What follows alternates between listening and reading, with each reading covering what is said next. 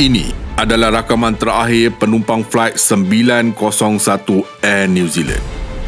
Sebelum berlaku nahas yang merakut 257 nyawa.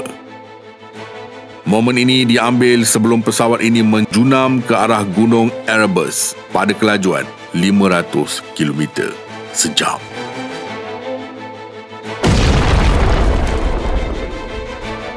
Setiap kali anda mendengar mengenai Antartika dalam fikiran anda, sudah tentu anda memikirkan gurun gersang berais dan sunyi tanpa manusia. Sebenarnya, gurun gersang ini mempunyai penghuni yang terdiri dari saintis dan mempunyai pengkalan udara di McMurdo untuk urusan penyelidikan dan kajian di gurun terbesar dunia ini.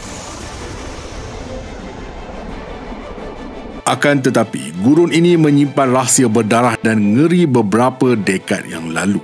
Sejak dijumpai pada tahun 1820, benua Antartika menyimpan misteri dan mengundang rasa seram pada saintis, pelayar kapal malah pada juruterbang. Dunia tidak akan sesekali melupakan peristiwa bencana terbesar melibatkan benua Antartika ini apabila seramai 257 orang maut dalam satu nahas kapal terbang. Astrolab membawa anda tragedi nahas Antartika. Sebelum tu, jangan lupa subscribe Astrolab dan on loceng notifikasi anda. Assalamualaikum dan salam angkasa dari Astrolab. Sekilas fakta, pada 28 November 1979, sebuah pesawat penumpang Air New Zealand penerbangan Flight 901 berlepas dari Auckland dalam penerbangan pelancongan khas ke Antartika. Seramai 257 orang berada dalam pesawat, terdiri daripada penumpang dan anak kapal yang teruja untuk melihat keindahan benua putih dari udara. Namun, tiada siapa menyangka perjalanan itu akan berakhir dengan tragedi. Beberapa jam selepas berlepas, pesawat ini terhempas ke Gunung Erebus, sebuah gunung berapi aktif di Antartika. Tiada seorang pun yang terselamat. Insiden ini menjadi salah satu nahas penerbangan paling tragis dalam sejarah penerbangan New Zealand. Tetapi bagaimana pesawat moden boleh tersasar dan merempuh gunung berapi di tengah-tengah Antartika? Untuk memahami sepenuhnya kejadian ini, kita perlu kenali dahulu Gunung Erebus, lokasi di mana tragedi ini berlaku. Gunung Erebus ialah gunung berapi paling selatan di dunia dan terletak di Pulau Ross, Antartika. Dengan ketinggian 3,794 meter. Ia bukan sekadar gunung berapi biasa. Erebus adalah salah satu daripada beberapa gunung berapi di dunia yang memiliki tasik lava kekal di kawahnya. Tasik lava ini sentiasa menggelegak menjadikan Gunung Erebus sebagai lokasi kajian penting bagi ahli geologi dan volkanologi yang ingin memahami aktiviti magma dalam gunung berapi aktif. Selain itu, Erebus juga terkenal dengan fenomena uniknya seperti pancutan gas beracun dan letusan kecil yang berterusan. Keadaan ekstrim ini menjadikan persekitarannya sukar untuk diakses dan cuacanya yang ganas boleh menyebabkan fenomena white out di mana salji dan langit kelihatan sama warna menyebabkan ilusi optik yang boleh mengelirukan. Jadi apakah kaitan semua ini dengan nahas pesawat Flight 901?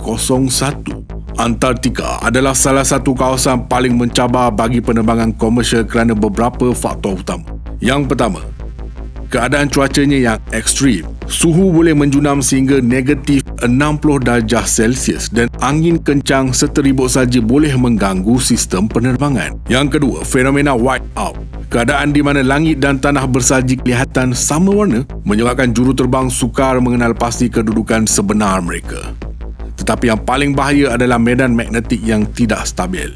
Kawasan Antartika mempunyai anomali magnetik yang boleh mengganggu sistem navigasi pesawat yang bergantung kepada kompas magnetik.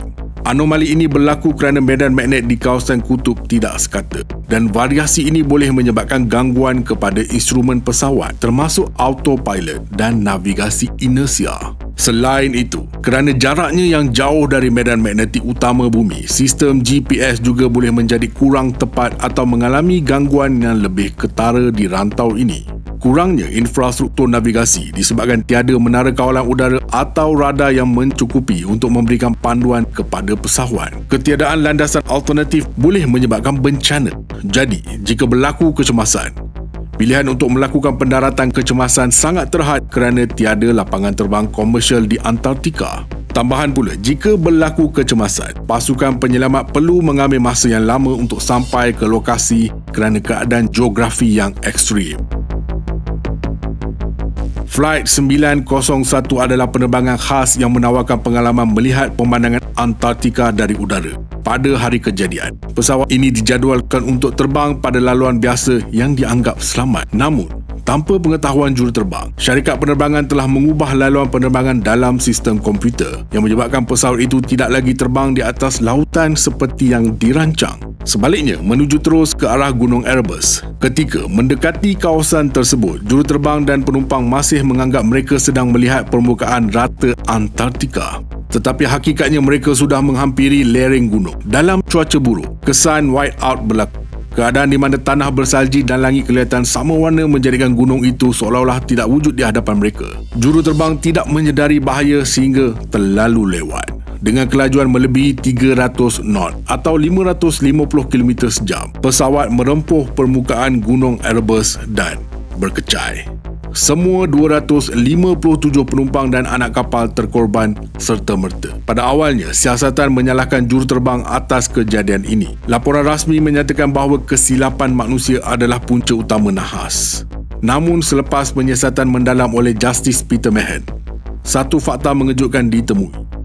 Syarikat penerbangan telah menukar koordinat laluan penerbangan tanpa memberitahu juruterbang. Ini bermakna juruterbang tidak tahu bahawa mereka sedang menuju ke kawasan berbahaya.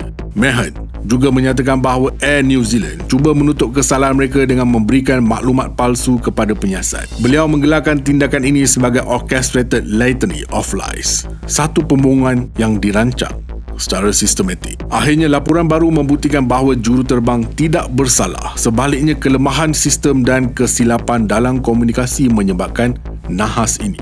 Selepas nahas ini, beberapa langkah keselamatan baru diperkenalkan termasuk penggunaan sistem navigasi yang lebih maju dan prosedur komunikasi yang lebih ketat dalam industri penerbangan. Namun, kesan tragedi ini masih dirasai sehingga hari ini. Gunung Erebus bukan sahaja dikenali sebagai gunung berapi aktif di hujung dunia, tetapi juga sebagai tempat di mana 257 nyawa terkorban dalam salah satu nahas penerbangan paling tragis dalam sejarah.